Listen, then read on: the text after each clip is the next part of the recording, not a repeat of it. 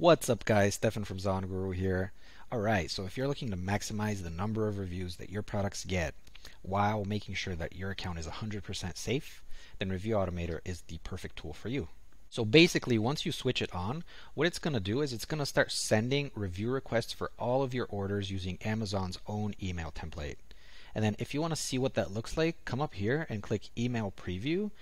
And this is what the customer will actually receive in their email and you can't actually customize this in any way. But the upside of that is your account is 100% safe because this email template was created and just comes straight from Amazon. Okay, and then also once you switch it on, you'll see this chart here with some details and a breakdown of the number of orders as well as the number of review requests that you had per day. You can hover and get some information. And then there's also the table down here with some extra details where you can kind of see which review requests are pending, which ones have been sent already. Uh, if I go down here, and you can hover and get some specific dates on them.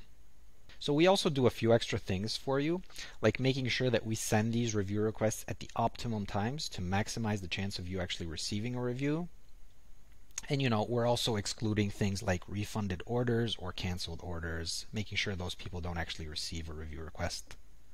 Alright guys, so that's the overview of the Review Automator, and if you want to get more in details, come up here and check out our FAQ section.